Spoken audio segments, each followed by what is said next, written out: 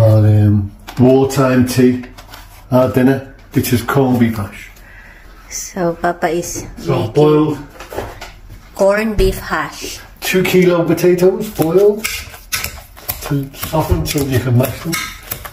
And what did you put in there? I put some nice butter, anchor butter, and a bit of milk. And then I mash it. And then in this pan, Sauteed one onion, because I like onion in with the corned beef hash. And where's your corned beef? My corned beef is here, which is going to be sliced and mixed. But I might, I might make this mash nice and creamy. whipped, can I have some know of you're gonna, I know you're going to taste it.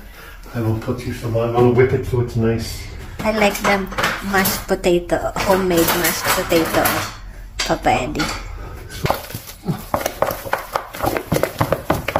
This, I always used to ask my mum, why did you do that? And she said, because her mum did. What do you mean? I asked her why she whipped it like this. And she said, because her mum did. Your mom. The same as like when she cooked liver. I said, she used to dip the liver in flour before she'd fry it. I said, why did you? because your mom did. She mum did. Well, I think really, if you think about it, it's to put air into the potatoes it makes it nice and fluffy. It's like an ice cream, vanilla ice cream. But Teddy's the only one not eating mashed potato, no? He says he eats school mash, but I don't believe him. I don't think he, he does. He, do- he's, he always says he doesn't eat much. Slice the corned beef. Um, so it mixes easier with the potato. When mix it. Just chop it. You can chop. I think when my sister does this, she, she actually grates the corned beef. Maybe she's had it in the fridge when it's a bit hard. But And then you will mix in here. and I will mix it into the potato. When the, but I've got some, as we said before, some sautéed onions. And what you can do with this when it's all mixed in together is put it in a In the oven. in a dish, yeah. And you can actually put it in a dish and you can grill the top so it goes nice and crunchy on the top if you wanted to. Just, oh, I'll add a bit, bit, bit at a time. More than I.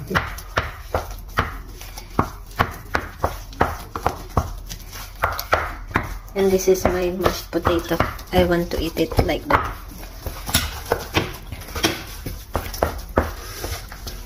And you can eat this. Some people like eating it with uh, white cabbage. Rest of the corned beef.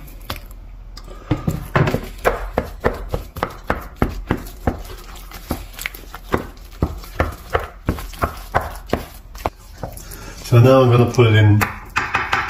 This is a oven-proof dish.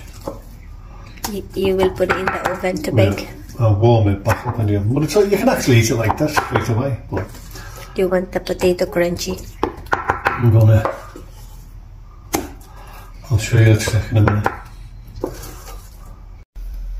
So now you can like do a little decoration of it.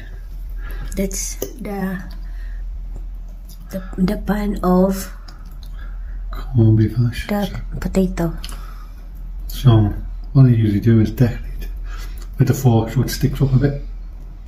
And when you put it in the oven to warm up, and then you can put it at the top under the grill and it'll go crispy. I can smell the corned beef. Or if you wanted to, what do you usually do on special occasions is like, um, let me see, say like it was uh, Valentine's or something, just do like a little heart. Jeez. I'll tell Teddy that's his dinner tonight. And then when you um, crisp it up, Valentine's corned beef hash, imagine that. That's Mother's Day. I think the wife would be impressed. Mother's Or would Day she na. kill you? Mother's Day, Valentine's finished na. I don't know, yeah. It can be any day, can't? Papa Eddie is being romantic. See, look at that. And then when you grill it, it'll all be brown, you'll have a nice heart in the middle. Voila! Enjoy. Oh, now you will put in the oven. ah. How long for? hot. Just put it into it's warm. It's already cooked. Everything's cooked. Then you can actually eat it straight out the pan. But you, you want you want it crunchy. Sometimes when you have the, you do the markings on the corned beef. Some people beat up an egg and brush the egg on top, and that goes crusty too. But whatever you want to do, well, you, it's nice with white cabbage, boiled white cabbage. I like it. But some people like it with beans. And Mum Pete doesn't like it at all.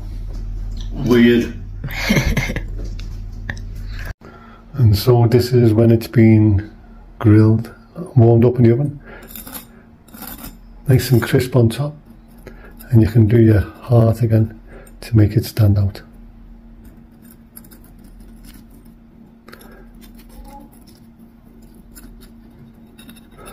Because it's still nice and soft underneath.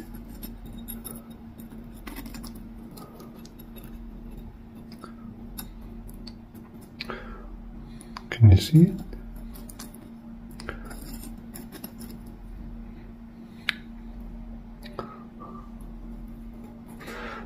There you go. Uncompleted corned beef hash. Very nice with white cabbage. Nice when it's nice and cold, winter morning. You can have that for your dinner. Okay, take care, guys. Bye.